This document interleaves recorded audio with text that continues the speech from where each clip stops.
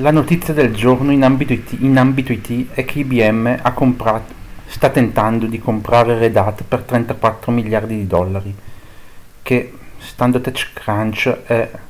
the largest software acquisition ever, la più grande acquisizione di software di sempre.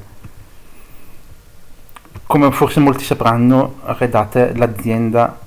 dietro il famoso sistema operativo open source Redate, da cui poi sono derivati anche CentOS e Fedora. Questa, questa acquisizione supera quella di Microsoft, quella di LinkedIn fatta da Microsoft per 26.2 miliardi di dollari.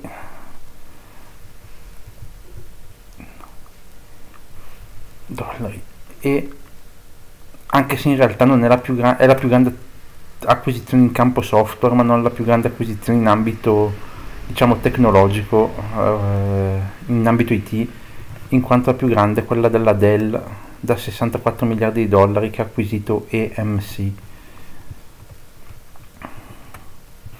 Come vedete qua c'è la classifica delle più grandi acquisizioni in ambito tecnologico,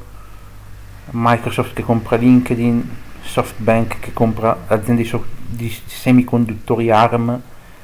al terzo posto IBM che compra Red Hat, al, 37, al secondo posto. Avago Technology che compra eh, il gigante dei semiconduttori Broadcom e al primo posto appunto Dell che compra EMC che se non sbaglio EMC l'azienda dietro cui si cela eh, il famoso sistema di virtualizzazione eh, il famoso sistema di virtualizzazione che si chiama Virtual Machine credo VMware, VMware. mentre in campo software c'è Oracle che compra PeopleSoft nel 2004 Symantec che compra Veritas al quarto posto Facebook compra Whatsapp 22 miliardi di dollari al terzo posto. Microsoft che compra LinkedIn sempre al, secondo.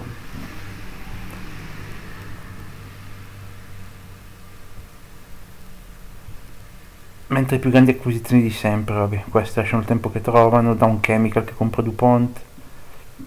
Verizon che compra Vodafone. Embel Atlantic gigante Pfizer che compra Warner Lambert, AOL che si fonde con Time Warner, uno dei più grandi disastri dell'IT mai fatti, visto che poi poco dopo è scoppiata la bolla del, negli anni 2000,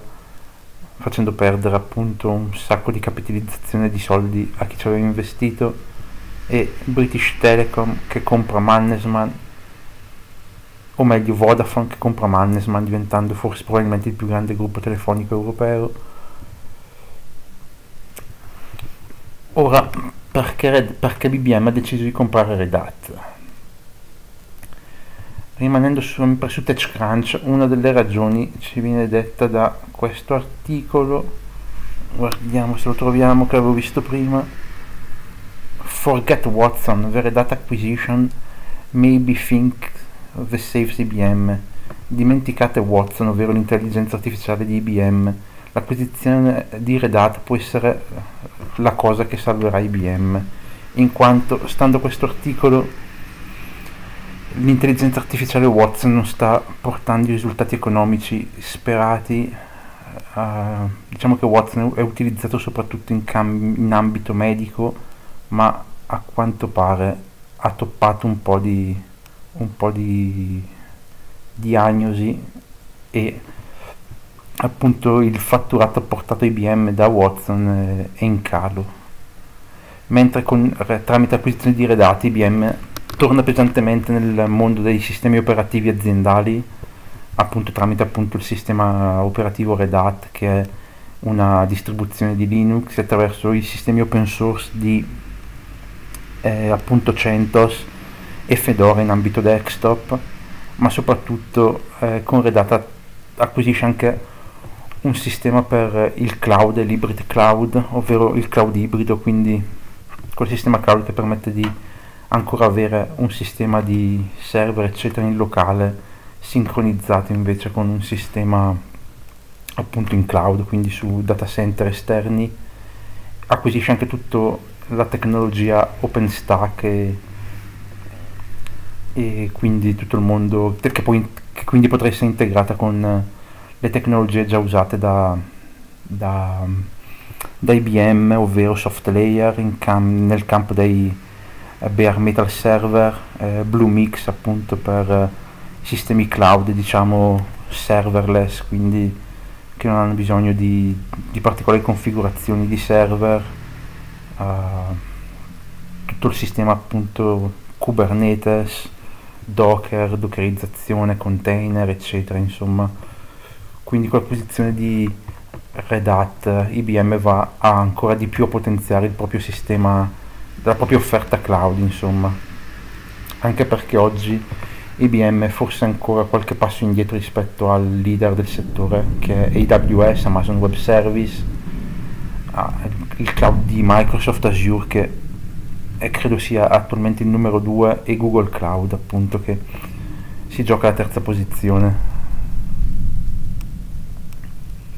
La storia di Red Hat è piuttosto interessante perché è forse stata la, se non la prima di certo l'azienda di maggior successo in ambito Linux. Andiamo a vedere un attimo la sua storia su Wikipedia. Fondata nel 93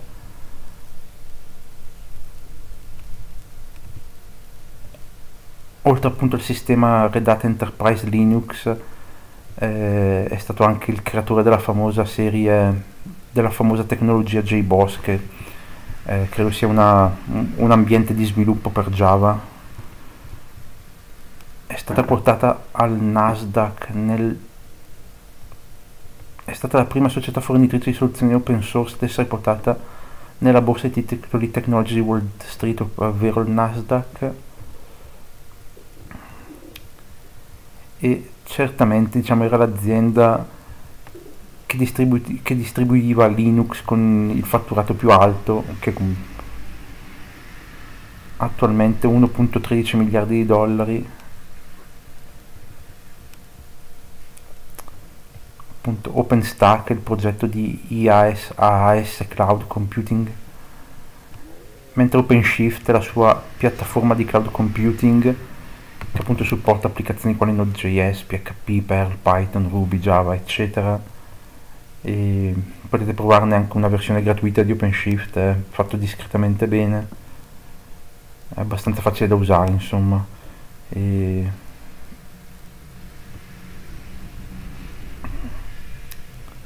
mentre IBM ad esempio, mentre